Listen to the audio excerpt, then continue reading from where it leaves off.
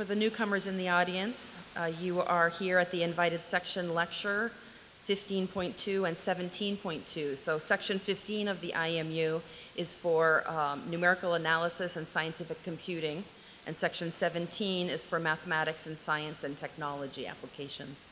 Um, we're here today to listen to our second speaker. It's Professor Qiang Du. He is the Fu Foundation Professor of Applied Physics and Applied Mathematics at Columbia University in the USA. Prior to moving to Columbia, he was the Verne M. Willaman Professor of Mathematics at Penn State University, also in the USA. Professor Du's PhD is from Carnegie Mellon University, and his uh, advisor was Max Gunzburger. Research interests are in numerical analysis, mathematical modeling, and scientific computation with applications in physical, biological materials, data, and information sciences. So I'd like us all to welcome Qiang Du with his talk titled An Invitation to Non-Local Modeling, Analysis, and Computation. Thank you.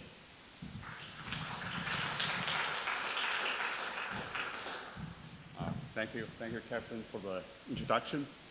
Uh, let me begin my lecture by thanking the uh, ICM, thanking the uh, program committee and the various panels for inviting me to this, uh, this great conference. It's really an honor to be here. Uh, I'd like to take this opportunity to tell you some stories about what we've been doing the last few years.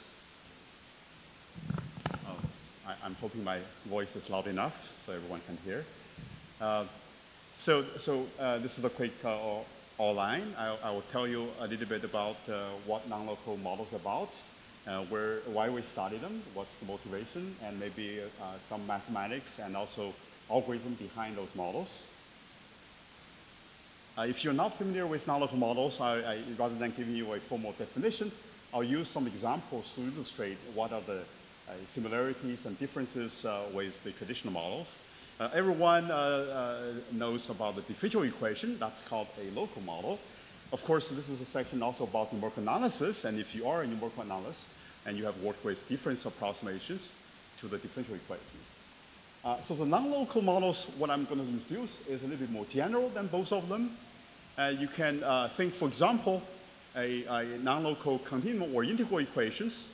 this is associated with a non-local differential operator and this operator, this integral non-local operator is nothing but just an average of the uh, center difference operators, right? So this is for a given kernel that's given on here. This is how you weight the, the different scales. And we're going to, uh, we're not going to take a finite difference, rather we're taking a continuum uh, average of this difference operator. And this range goes from, uh, say, uh, minus delta to delta. This, uh, this gives you a categorization of the range of non-local interactions. Uh, so we say that this uh, model is more general uh, because uh, you can take this kernel, right? You can make that to be a Dirac delta measure, either at the origin or at some finite mesh size, or you can take a sequence of uh, uh, kernels approaching to those singular measures, and then the non-local operator will converge or will be equivalent to the differential operator or the difference operator. So in, in that sense, it's much more general. And you can even also take a a, uh, a, a, kernel that's of fractional type, and you make this uh, delta uh, go to infinity, become a totally global operator. In this case, this non-local operator will give you a special fractional derivatives of your standard differential operator. Uh, so it's indeed more general than many of those special cases. But I also want to say that uh, this non-local model can serve as uh, perhaps alternatives or tools or bridges to the existing models. And let me illustrate that through a few examples. Right? Uh, I begin the story with, say, the non-local model perhaps can serve as a bridge between different models. Uh, one example I'll give you is to say uh, it may be, it can be used to uh, bridge a local diffusion equation and maybe a globally defined fractional uh, differential equation models. So I'm going to introduce a non-local derivative. And this again, this is this is almost like you take a backward difference and you average that over a particular uh, time scale. So this delta will measure the length of your memory. Right? Uh, so let's compare, on this side, I, I write down the standard uh, normal diffusion equation with the heat equation. Uh, on the other end, we write down the fractional diffusion equation. This will be a fractional derivative of certain order. And uh, so this non-local, if you replace the integer derivative by this uh, uh, local derivative by this non-local derivative, we end up with a non-local in time uh, diffusion type dynamics. And we say that this perhaps can bridge the two. Uh, this is not just a mathematical uh, toy or invention. It's motivated by recent studies, particularly recent experimental studies that reported some very interesting behavior, sort of anomalous diffusion behavior in biological systems.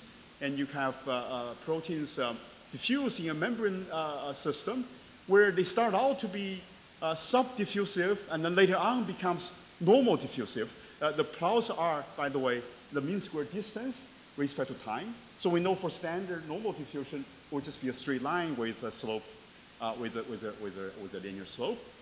Uh, but you see this uh, subdiffusion behavior and later on going to the normal diffusion. This is not a more recent one uh, nature communication. Those actually are done by my uh, former colleagues at Hong Kong UST where I used to work. So in comparing to those experiments, we actually did a numerical simulation. This is done by uh, my postdoc, uh, Zhou, and also another postdoc, Jiang Yang, who was a former student of Professor Tang Tao here. Uh, so if you, if you solve numerically this non-local in time dynamics, because this finite memory span, what happens is at initial time, memory plays a very important role. Right? So memory is so important that, that the diffusion behaves essentially like subdiffusive. It's non-Markovic. But later on, as time goes by, if you only have finite memory compared to the whole time history, the memory effect diminishes. So therefore, you're almost like memory-less. So you're getting into the Markovian regime, and that goes to the uh, Markov, uh, goes to the normal diffusion. So this will be a single model, a very effective model that captures this, uh, this perhaps this crossover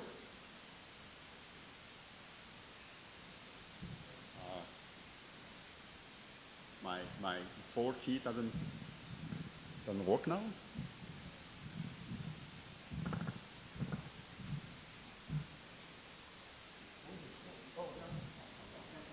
Maybe just my hand is speaking. All right, thank you. So this non-local time dynamics captures this crossover from the subdiffusive uh, regime to the normal diffusion regime uh, very effectively. Right? So this is one example where we, we can use this non-local models to bridge a, a, local model and a fraction model. Now let me get to the second example, uh, again uh, motivated by an example, uh, by, uh, by uh, application. So I want to talk about that the non-local uh, models can be used as tools to understand existing local models like PDEs. Right? So one of the example I pick here is the so-called the numerical methods, the so-called smooth particle hydrodynamics, or SPH for short. And this is done uh, uh, the pioneers in this uh, subject, Gingold, Monaghan, and Lucy, about 40 years ago. It's a quite popular numerical method in computational fluid dynamics. It, it got over 5,000 citations. And the key idea of SPH is based on uh, some non-local or integral relaxations or smoothings of your local quantum mechanics. Okay. Uh, I'll explain, without going into the detail, I'll explain roughly the Euro sort of two steps for, for constructing an SPH discretization schemes. Right. So we're, we're using a, a, kernel, a smooth kernel, right, uh, depending on the uh, spatial location, and also a smoothing length delta. This is, this is like uh, measures the support of this kernel, but also it's going to measure the range of non-local regularization you're going to use. So with this kernel, with this smooth kernel uh, like this, what you're going to do is whenever you want to do time uh, derivative, uh, you want to do spatial derivatives of the function, instead of differentiating directly on u, you could use this integral representation to differentiate instead on the kernel itself. All right? And so this is called a non-local smoothing, this first step. And, and you can think about this really, uh, this is replacing a local derivative by a non-local integral operator and this has nothing to do with discretization. This is completely, they can be completely done on the continuum level. To turn that into a discrete model, you can introduce a quadrature discretization uh, using particle-like quadrature integrations, and that gives you a discrete summation rules, and this becomes uh, something you can implement on the computer. Right? So that step is called a uh, uh, particle quadrature approximation. Of course, this gives you another parameter which measures the, uh, the sort of spacing or distribution of your particles.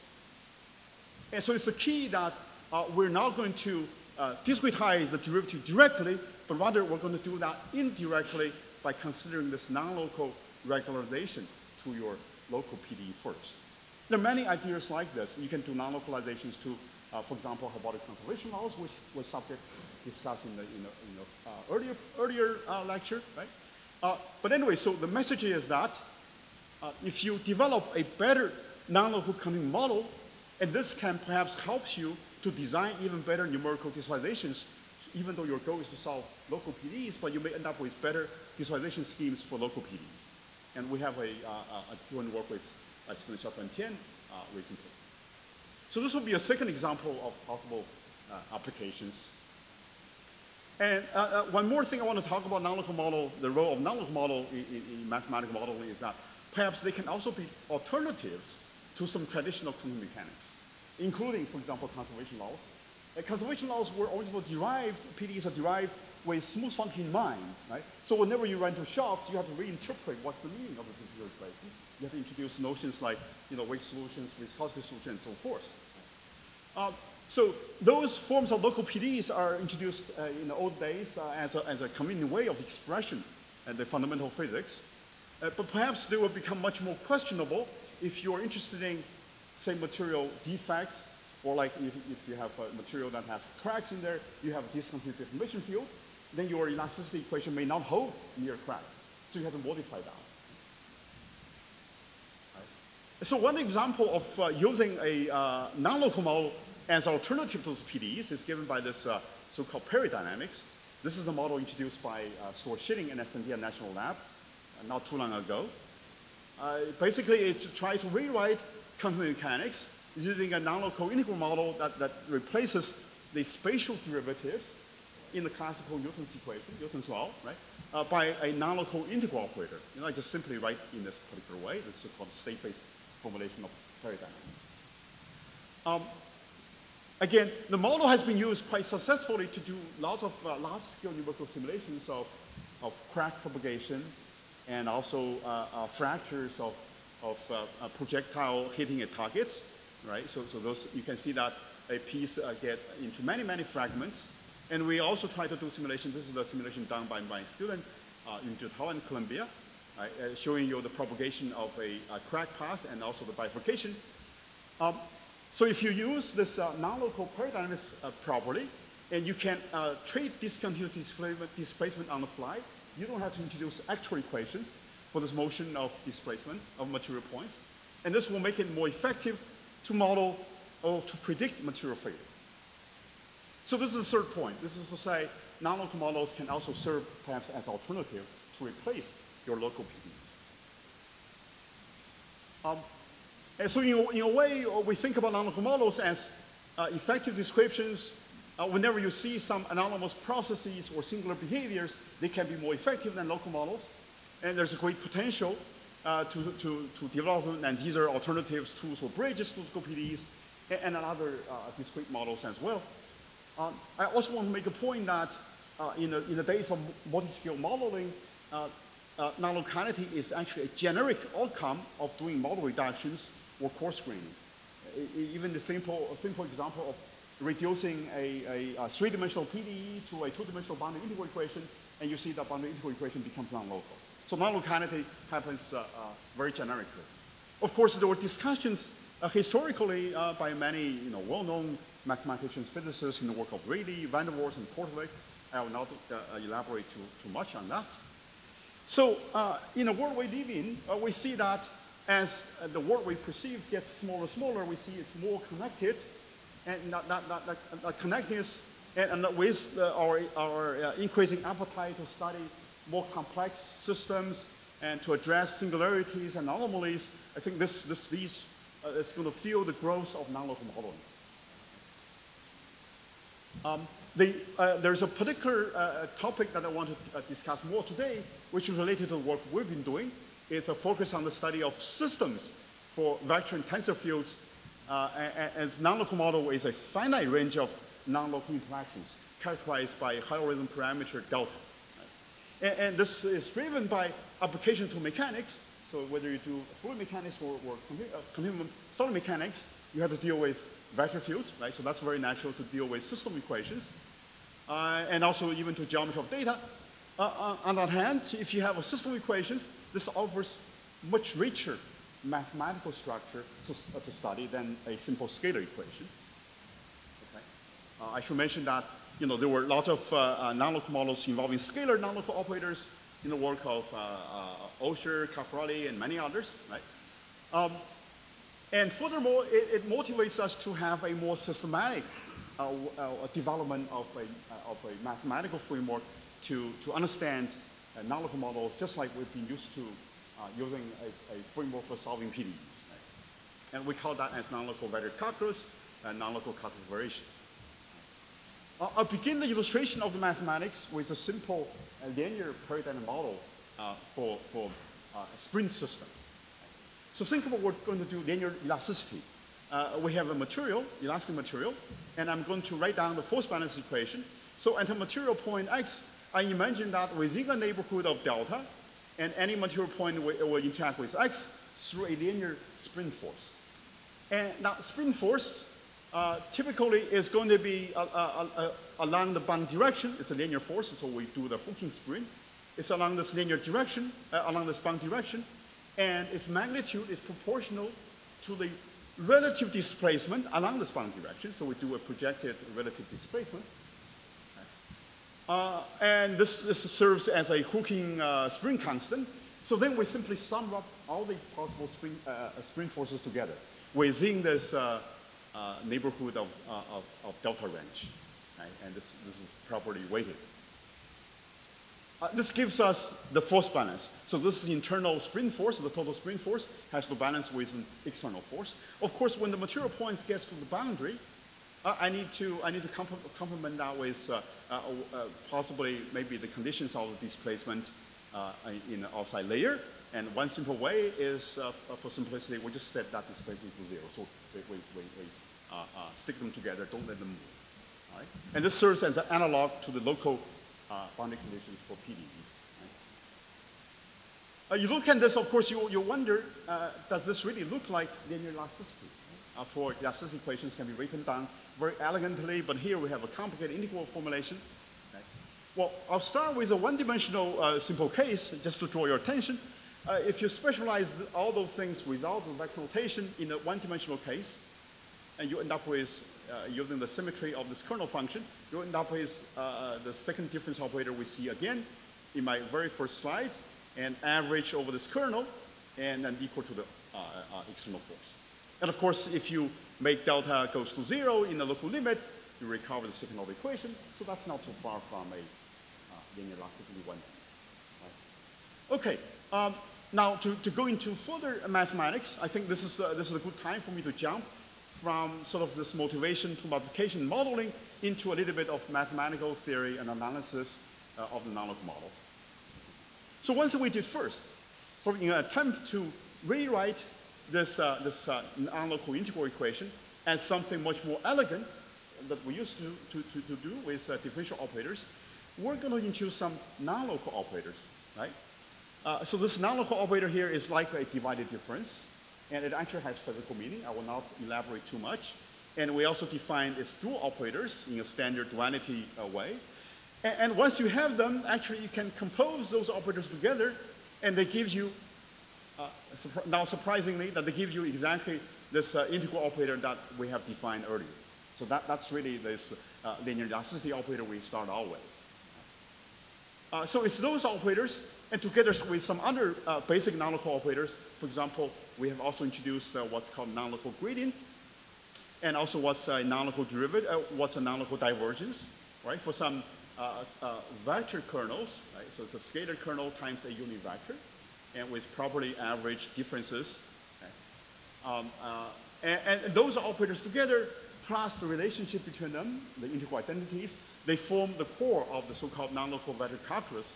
This is something we start always, uh, Gunzburger, Lehoucq, and, and another student, Joe, a few years earlier, and then also with uh, Dr. Mengesha, one of my former postdoc, we did a much more rigorous analysis uh, based on this framework.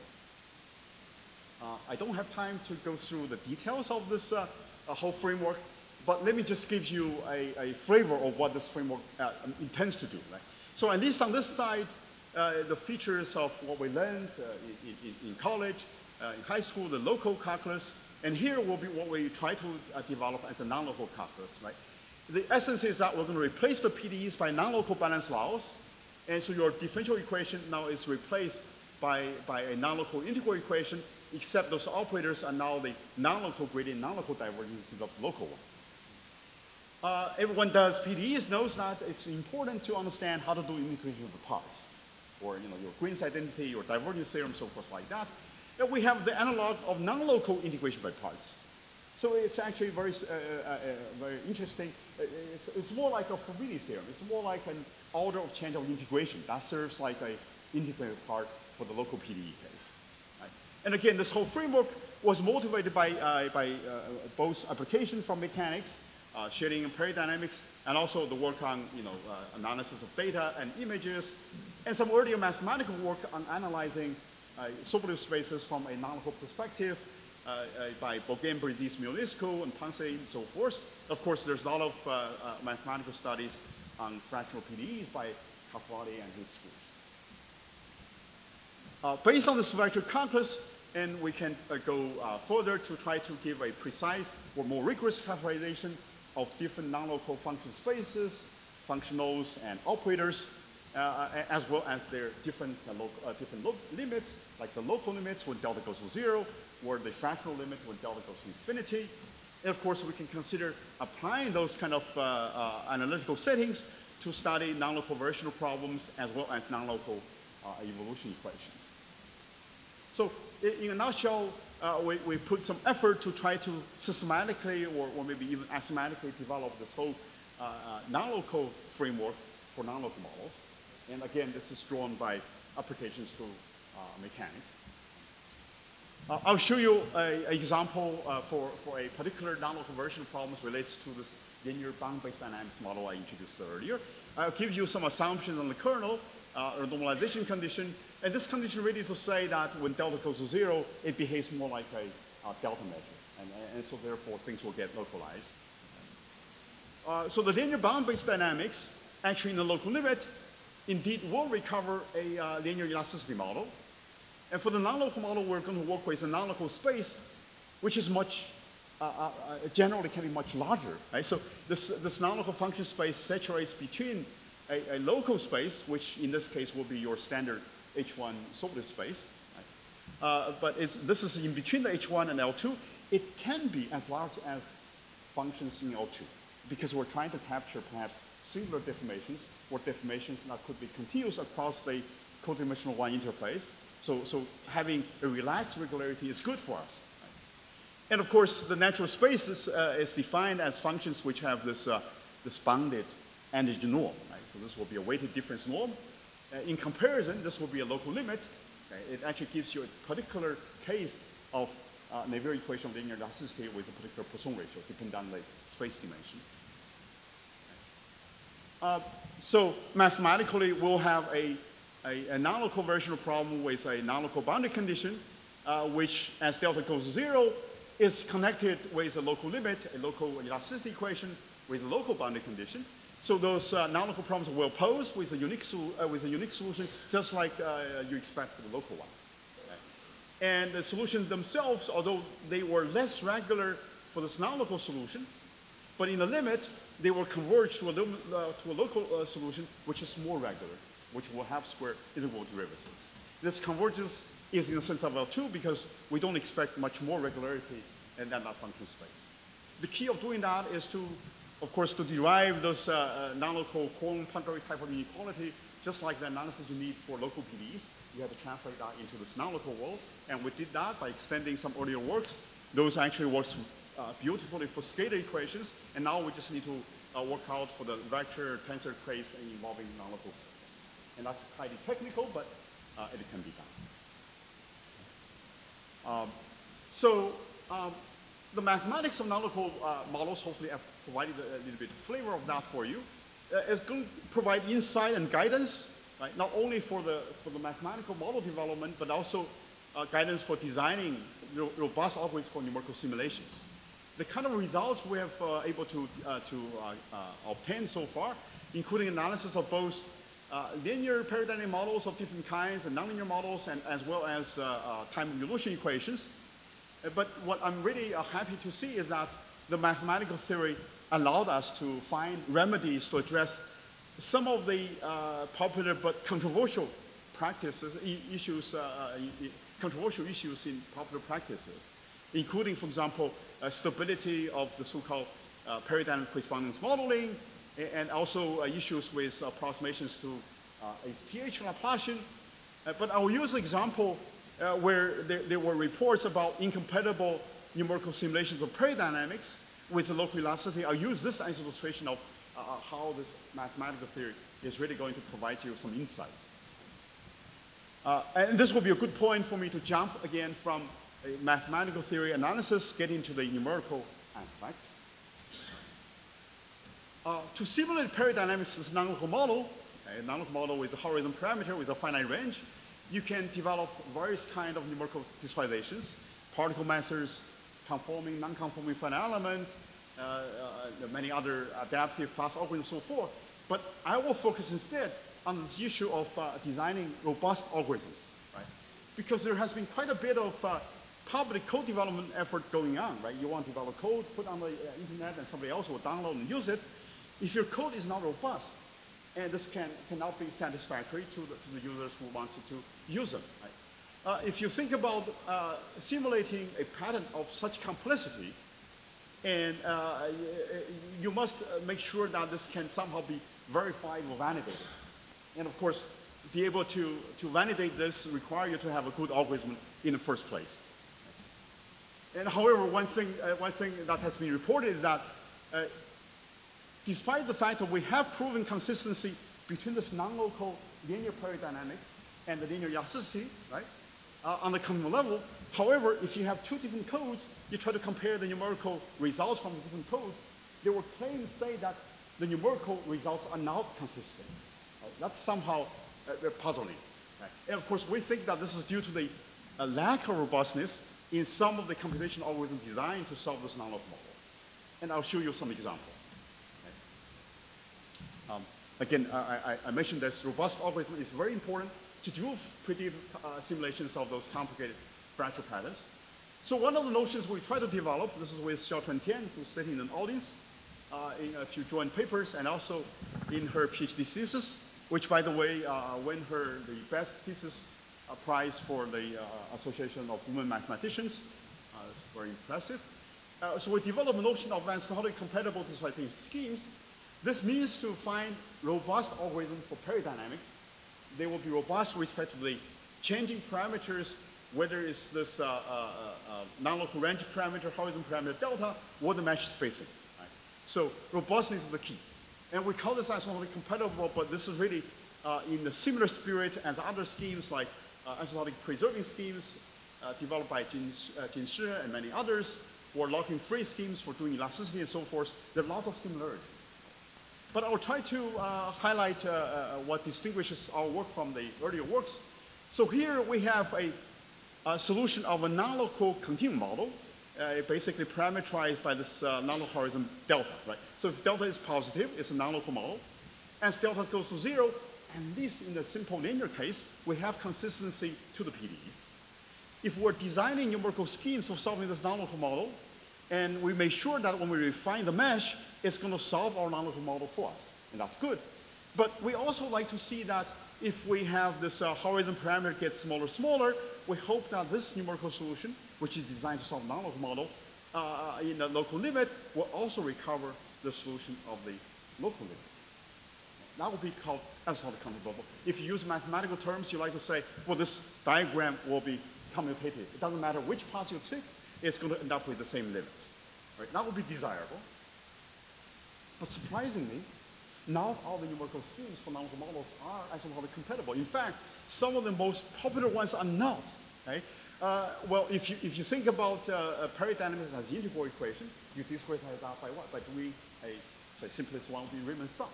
But turns out uh, a simple particle derivation with Riemann sum quadrature is not as asymptotically compatible. If you want to do finite element, you think about doing a variational uh, setting, uh, because you're working with possibly L2 function space, uh, functions could be discontinuous. then nothing is simpler than using piecewise linear finite element. But turns out uh, finite element is piecewise, sorry, piecewise constant finite element, right? And that's not going to be as asymptotically compatible either. Uh, so Xiaochuan one day did some numerical experiments. So she kept the ratio delta over H unchanged while refining the grid. So you're refining the mesh and you're letting delta go to zero simultaneously. Uh, so this is one of the uh, numerical results for a particular uh, mesh size. Then she refined the mesh, well, the numerical solution now falls on top of each other. If you think about numerical convergence, you say, oh, perfect, this already started to converge. Wonderful. Indeed, the approximation converges. But unfortunately, it's converging to a wrong local limit. The real local limit on a continuum level for the right uh, physical parameter is this one right here. So they are far from the actual solution you're trying to simulate.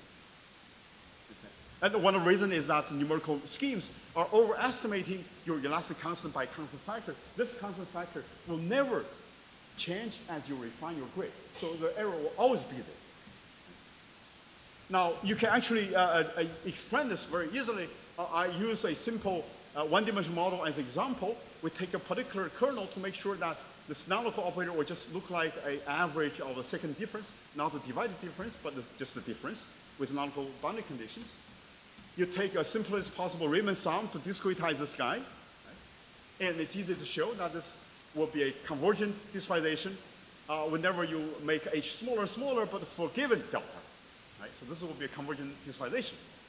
But if you keep the ratio, which is the delta over h unchanged, and you make delta and h goes to zero simultaneously, easily you can figure out that uh, it's going to converge to a local equation, but with a modified uh, coefficient. It's no longer one. And, and, that depends on what's ratio of delta over, uh, what's the ratio of delta over h, or how many uh, nodes within this non-local range of interaction. Of course, when r goes to infinity, this converges to one, okay? but for fixed r, this error will always be there, will never go away. It turns out you have a very simple remedy to, to, uh, to overcome this. You just need to change the weight somewhat.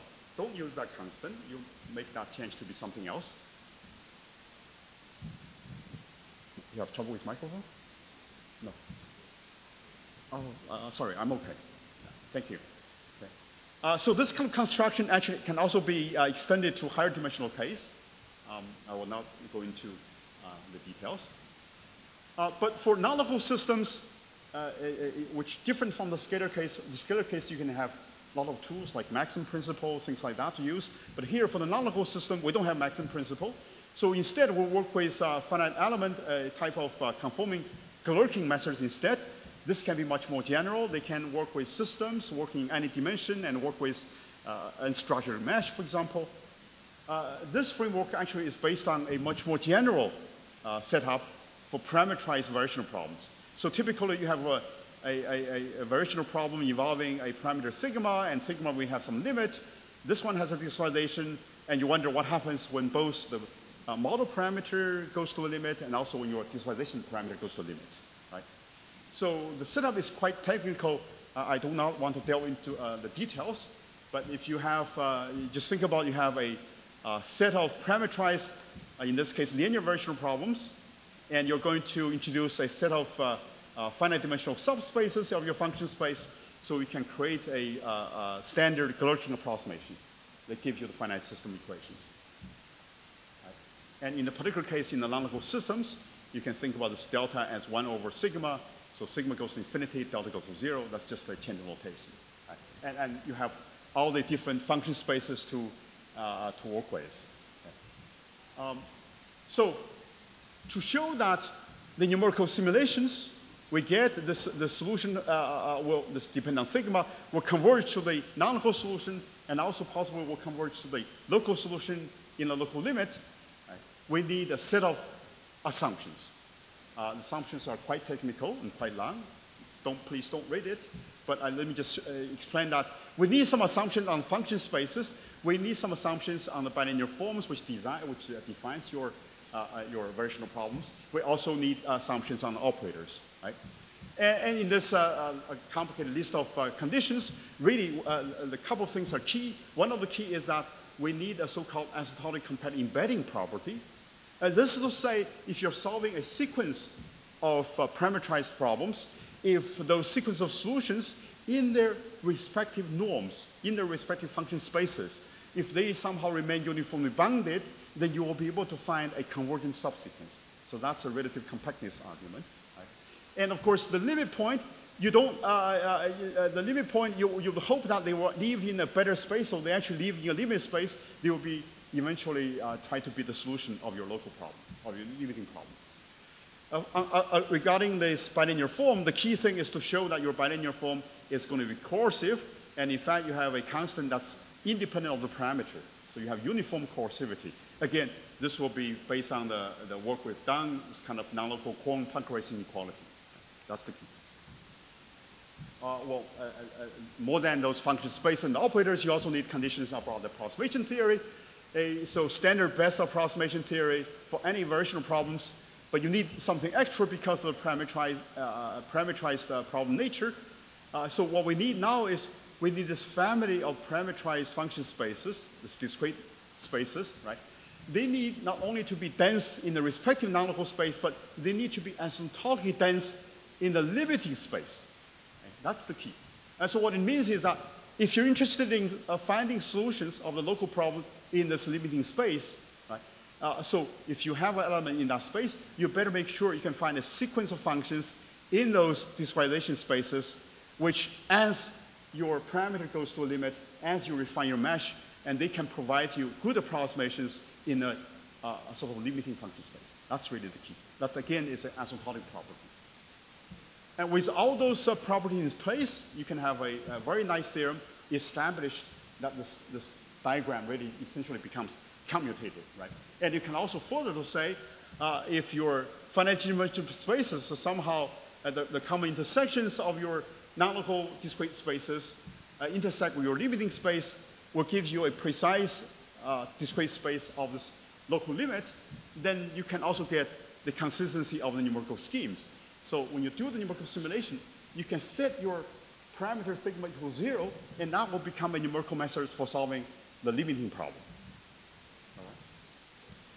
Okay, uh, so uh, specialized, uh, the framework we established was really for a more general parameterized of problems.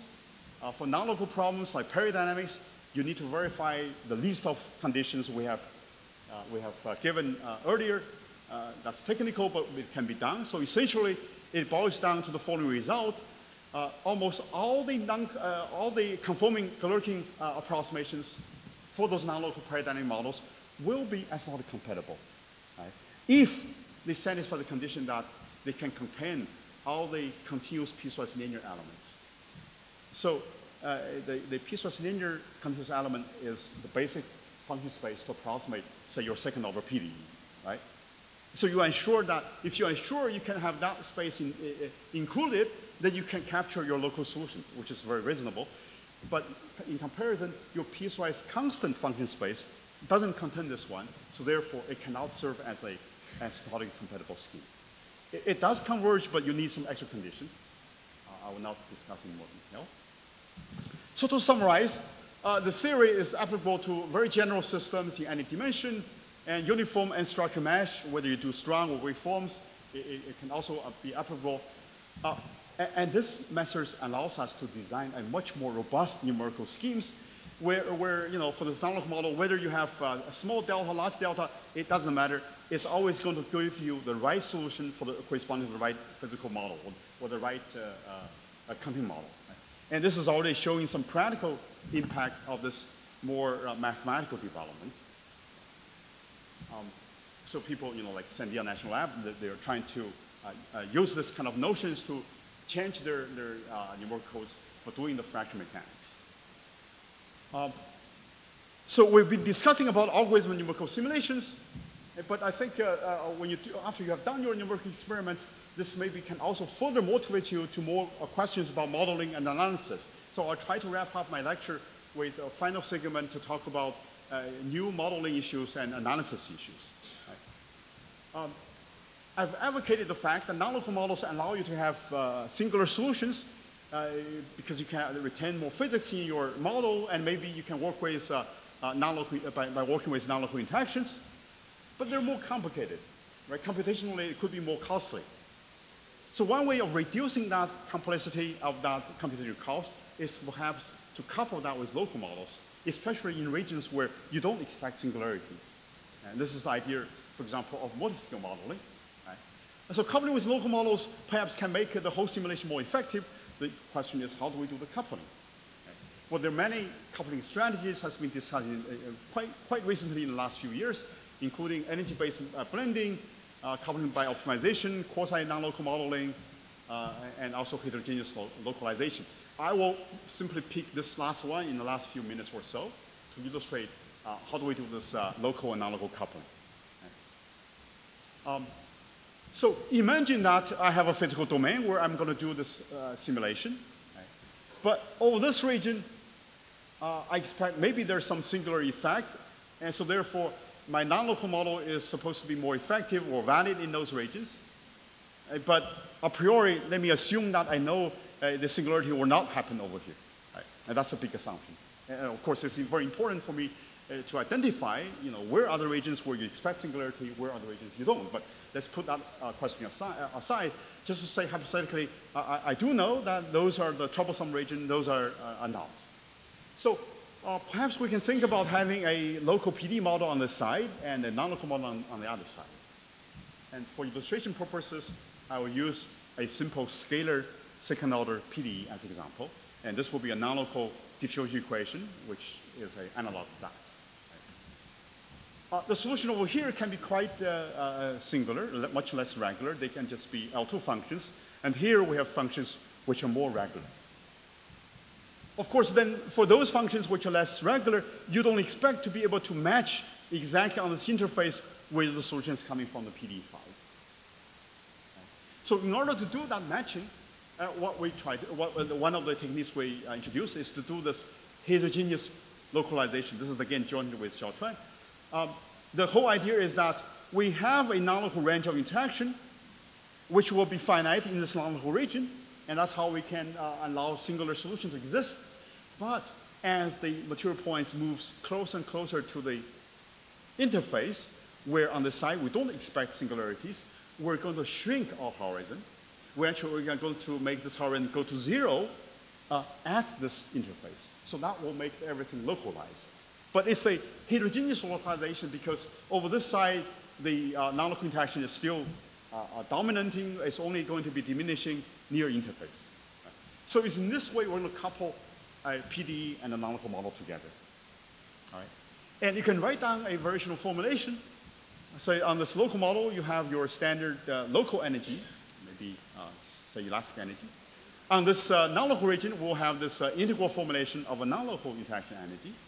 Right? And we have the total energy add together, and this will be worked down by the external force. Of course, the question is how do we couple the solution from the left and with the solution on the right. Well, the solution from the left has a well-defined trace in a fractional space, but the solution on the right, if, if you have a constant horizon, it's not giving you the right regularity. It does not necessarily define the right trace for you. So one of the critical results that, that uh, uh, proved is, is the following uh, non-local trace theorem, which is a result that in some ways strengthened the classical trace theorem. Right? The classical trace theorem for second order PDE says that if your function in the H1 space, then it has a well-defined H1 half trace on the codimensional one interface, on the boundary. Right? But what we have now, the new result says that uh, this H1 half trace can be bounded by this non-local edge null, which is more or less characterized by this uh, uh, uh double integral over here. But what's essential is that uh, you can have kernels that this kernel perhaps can kill the regular, uh, can kill the singularity when x and y collides. But however, the horizon itself is going to get more and more localized near the boundary, and this localization provides the extra control of the regulated solutions so that you can have this norm uh, be upper bound of your H1 half uh, trace on the boundary.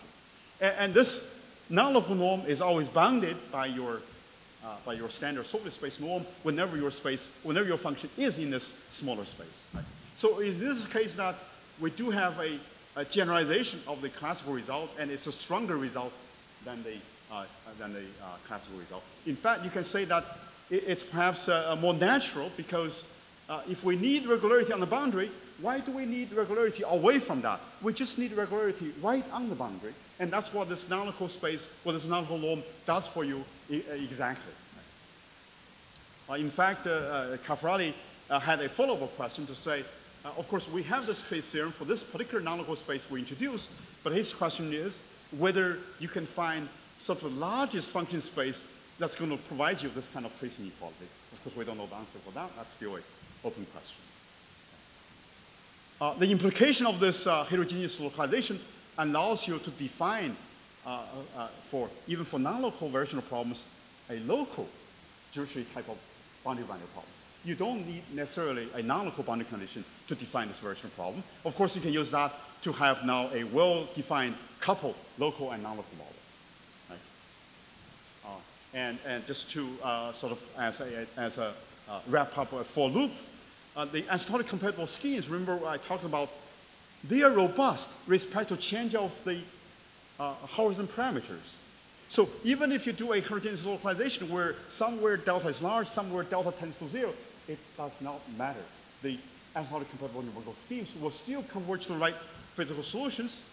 And so with that together, it's like we complete the full loop of going from non-local modeling and to applications, peridynamics, and mathematical analysis of you know, trace theorem, variational problems, and also numerical schemes, right? So uh, I have about a minute left. I, I, I, I uh, just point out to you there are other works on, say, for example, non-local phase models, non-local conservation laws, and also non-local Stokes equations, the various features, but I won't have time to go into that. The, the title of my lecture is an, an invitation to non-local modeling, so the talk will not be complete if I don't give you some uh, uh, uh open questions. Of course, I think there are a lot of questions to be asked. Uh, most fundamentally is perhaps on a model level, a rigorous derivation of non-local models for multi-scale, multi-physics problems uh, from, you know, maybe uh, microscopic physics. And also couple that with inverse problems or, or, experimental data to do this inverse problem to figure out what the right model should be, what's the right non-local interaction model, the non-local horizon parameter, and so forth. In terms of fundamental uh, uh, mathematics, I describe non-local vector calculus, but you know, uh, the modern version of calculus is really done by exterior calculus. You need to do with non-local forms, and of course, there's a lot of uh, open questions over that. And also connection with stochastic processes, uh, uh, there are interesting connections. Lots of analytical questions dealing with both variational problems and, and also dynamic systems. Okay? And of course, on the numerical side, more robust uh, uh, adaptive numerical schemes, uh, parallel methods, domain decomposition methods, and so forth. And of course, very importantly, on the, on the, on the application side, going from mechanics and to some data analysis and, and, and even artificial intelligence and so forth. So with that, uh, my time uh, just runs out. I will skip this, uh, this final conclusion, but very importantly, I'd like to acknowledge that this is joint work with uh, many of my collaborators. Uh, in particular, I, I uh, mentioned Xiaochuan Tian, who's sitting right in, in, front. She's now doing a Bing instructor at UT Austin. My former postdoc, Tadele Mengesha, many of the work is done with him. Max Gunzburger and Richard Lehoucq introduced me to this subject of non-local modeling. And those are my postdocs and students, former students, and different places. And there's also a long list of collaborators from other national labs and universities. I thank them all. Without them, the work wouldn't be possible. And also want to thank the support from uh, various uh, uh funding agencies. Um, thank you very much. Uh, 谢谢. Obrigado.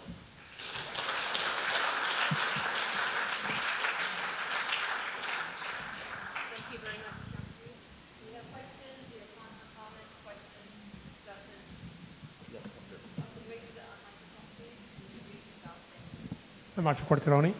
Thank you very much for this beautiful talk. Um, well, several questions. I start sure. with one. Right. Uh, when I consider your, your heterogeneous model, uh, are you able to recover at the interface uh, the uh, classical interface conditions, at least in the case of the Laplacian, namely continuity of the solution and continuity of the normal flux? Okay, uh, sorry, can you repeat your question again? If in the, your heterogeneous model, when you take the coupling between the local and the non-local. Right, couple model, it, yes. Yeah, the couple model, if in the limit you can actually recover the continuity of the classical quantities such as U and the normal flux. The answer is yes. Your question is whether for the coupled local and non-local model, when everything gets completely localized, whether we cover the classical model? The answer is yes. yes. Maybe I have a second question if I can.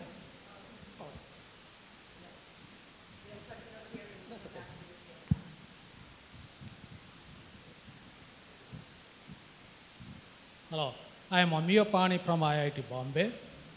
Uh, my question is, if you have a Neumann boundary condition, you have done some extension from omega to omega tilde, the, the delta neighborhood of, sorry, omega delta, the delta neighborhood of omega. So how does one do that? Yeah, that, that's a good question. Your question is how do we do like uh, you know variational boundary condition like Neumann boundary condition? That's a that's a very nice question. Unfortunately, my time is limited. I didn't have time to go into that. Uh, you can you can develop a variational framework just like your PDE case. You, you can think about uh, uh, you know Neumann conditions as a natural variational conditions, and once you set up your energy, then whatever comes out will serve as a non-local Neumann condition. In a local limit, we recover a Neumann condition for local PDEs. It, it, it has been done, and I'll be very happy to share some references for you. Okay, thank you. Okay. Yes. My, my question is whether or not you are always consider the case of H over delta bounded, and if this is not the case, uh, which is the typical form of stability condition that you have in terms of H and delta? Uh, so uh, that's a good question. So the, the question is whether uh, you know the ratio delta over h or h over delta, whether we make it small or large. So for asymptotic compatible schemes, we really have no limitations on the ratio. The ratio can be very very small, can go to zero, can also go to infinity. Uh, Xiaochuan has done some nice numerical simulations where uh, sometimes she took uh, h equal to delta square, and sometimes she took h equal to square root of delta. So if you think about uh, h equal to square root of delta, then within this delta range, your actual mesh points is farther away. But, but because of this uh, uh, connections with the variational uh, numerical simulations, you still can recover the local limit correctly. So, so it's actually much more robust because most of the, say for example, SPH or other particle methods basically require you to have more and more particles within this non-local range interaction so that you can get a consistent local limit. But if you do this AC schemes, you don't need that requirement anymore. And we think that has a lot of future, and hopefully we'll see more applications of that. But the key is you have to understand what your continuum non-local model is, then you can design better numerical schemes. Any other questions or comments? Let's thank Professor Du once again. Okay, thank you. Thank you all for coming.